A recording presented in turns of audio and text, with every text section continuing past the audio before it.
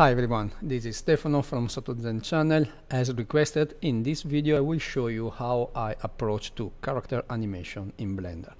At the end of this two parts tutorial, we will have this little green guy here performing a quite difficult acrobatic flick-flack.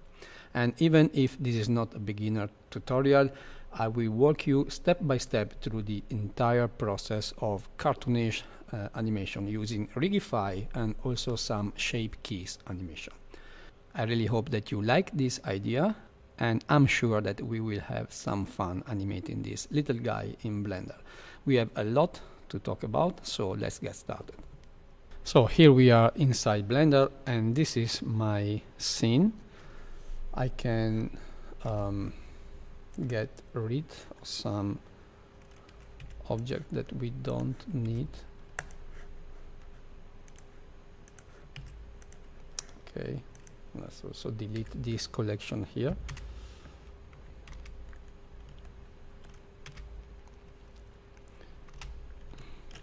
Okay.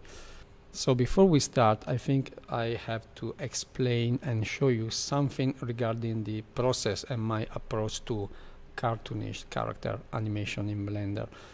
And let's start by the basic things. You can see that I have this uh, 3D view where my character and the Rigify is visible. And I often switch with this between the overlay uh, option visible or not because I I like um, to watch without all this um, working and elements or, or these controlling objects. So using this you can switch and turn off all these elements in order to better see what you are doing. Another thing is that I always using the graph editor. So I have this uh, horizontal splitted window down here set to graph editor. And this is because it's where I will tweak polish and edit all the function curve that I will create during the animation process. And down here I also have the default timeline visible. Here you can set the start and end frame. And that's more or less all about my user interface. Let's talk about the character that I made this simple uh, guy here. You see that this issue here is uh, because the texture is um, not showing properly because the uh, subdivision surface modifier is set to zero. If you go here on the modifier stack you see that we have the armature modifier and then we have this subdivision surface modifier but it's set to zero. It will be enabled only during the render process and this is because during animation I want to have the best feedback from Blender that is possible to have.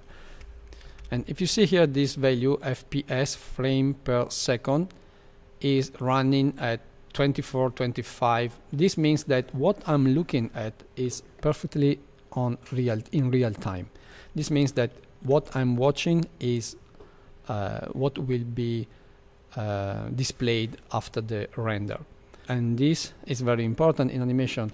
I can show you that if I just increase uh, one subdivision step on this modifier here if I now run my animation you see that it slowed down. And you see that the FPS turn right means that Blender is advising me, hey, pay attention that what you are seeing is not actually in real time. It dropped down to 17, 18, something like that.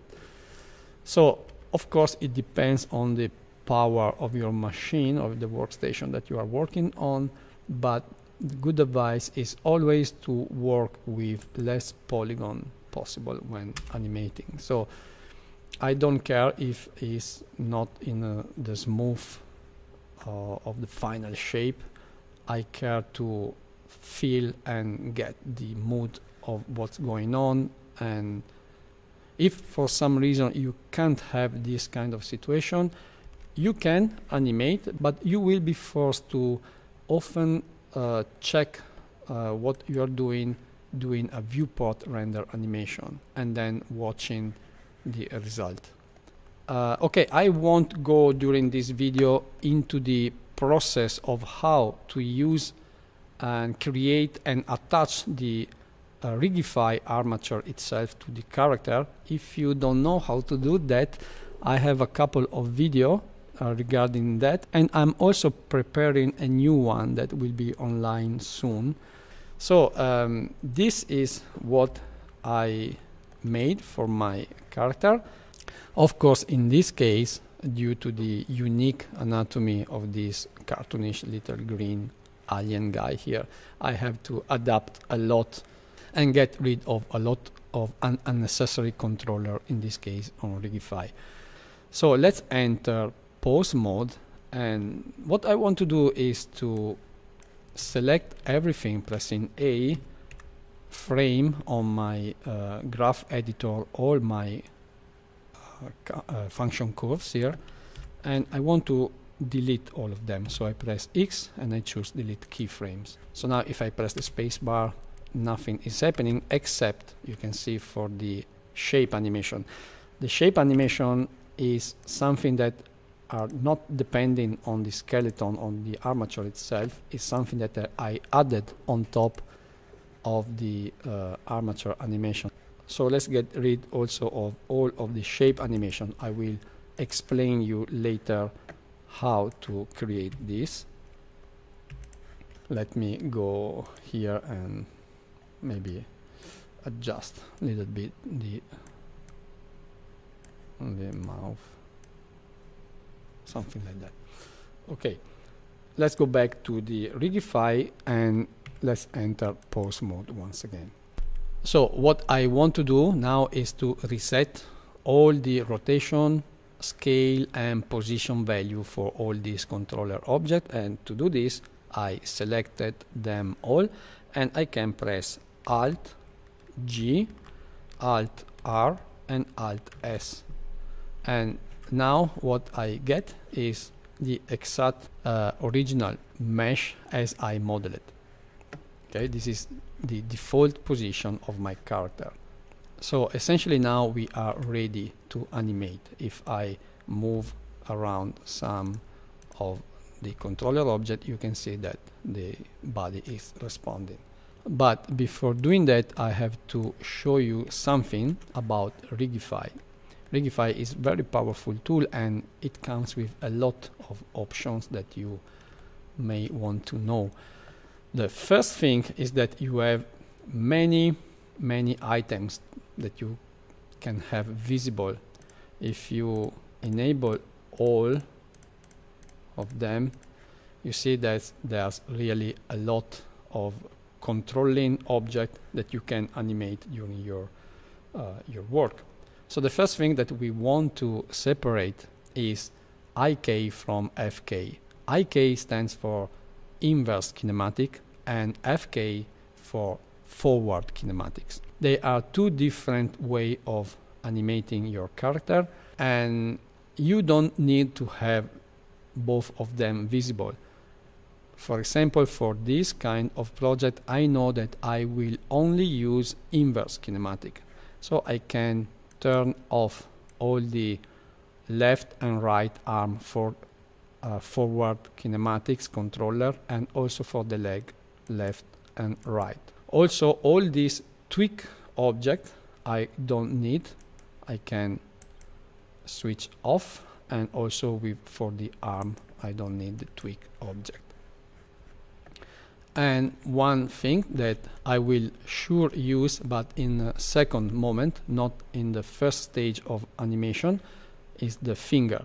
So let's turn off also the finger and also the finger details all these elements here let's turn off also this.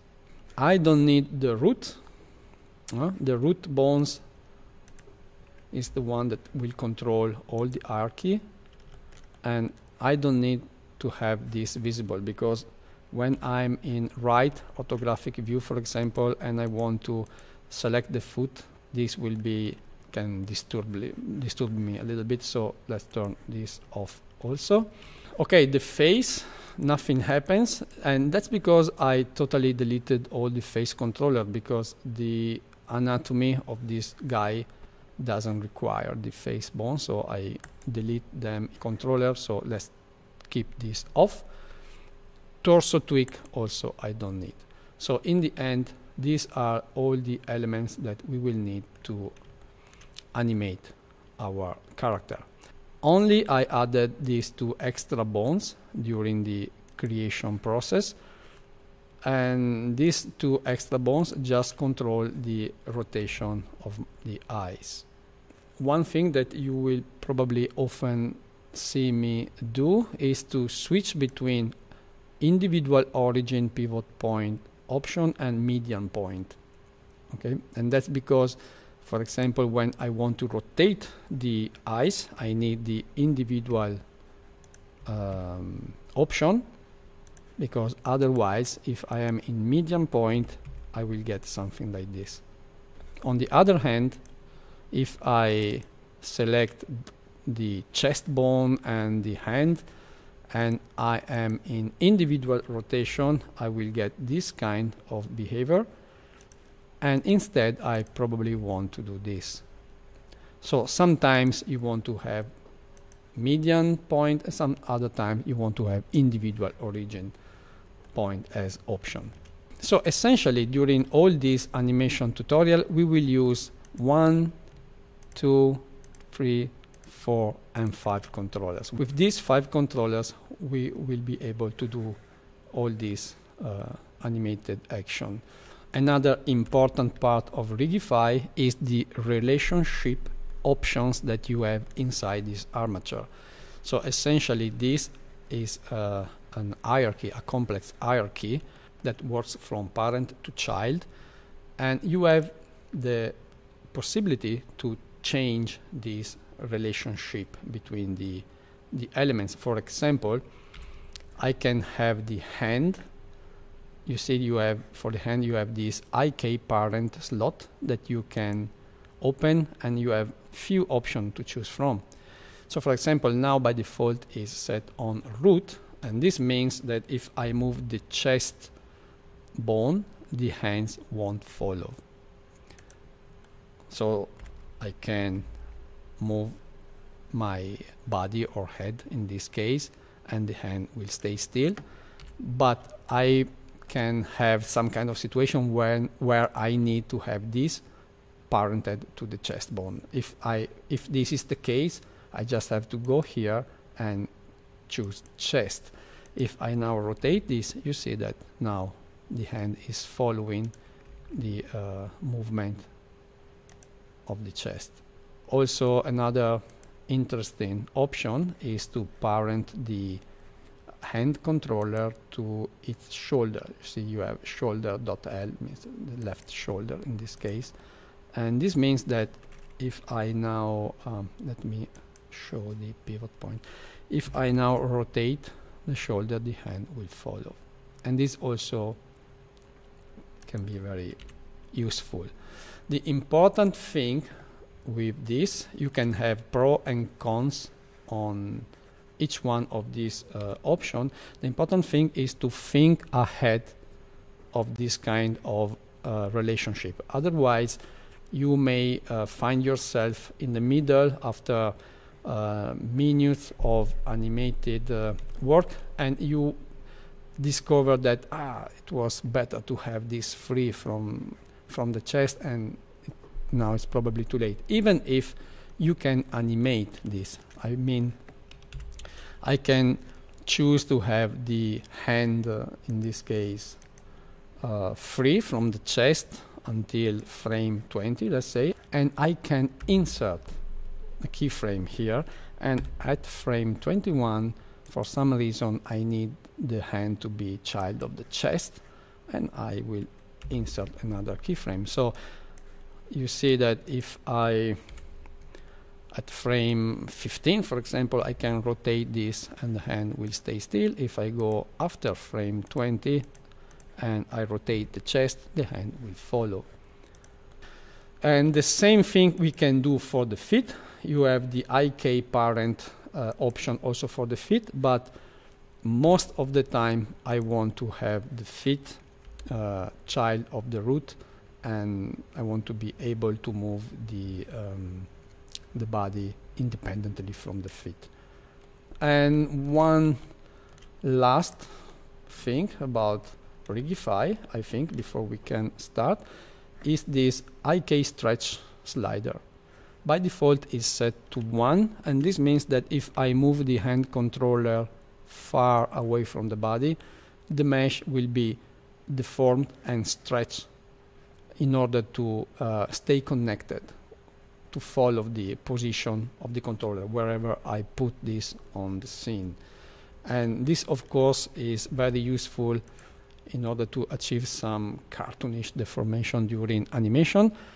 But uh, personally, I prefer to set this always to zero. You can you see that if I uh, slide down to zero, you see that the mesh is gradually going back to its original originally shape. I like to have this set to zero because uh, in this way I am aware of the limit of my mesh and if I have to go further than that I can do this but I know that this is happening and I will choose to do it. For example, I can tell you when I animate this flick flack, I start without seeing that this character has short hands, short arms, so he's not able to do to land on the floor without hit his head on the on the floor. And so in that moment, what I have done, I use I take advance of this IK stretch in order to be able to go above the head and and that's very very very useful so let me put this back to zero and reset rotation and position so let's go back to object mode and I want to show you yeah also in addition to this armature I added these simple eyebrows that uh, I will animate using some basic shape keys later Okay, I think we can conclude here this first part. It was, in my opinion, necessary to explain all of this concept in order to be able to follow the next part more easily. Uh, for my patrons, I, that I always thanks so much for their support, I will upload this nice little guy so that if you want to have some fun, you can download this and try to animate it. Um, for all the rest of you, of course, I invite you to visit my Patreon page and consider joining me there in order to support me and my work even more. And I'm already working on the second part of this video, so I will see you here very soon. Thanks so much for watching. Have a great day and stay safe. Ciao.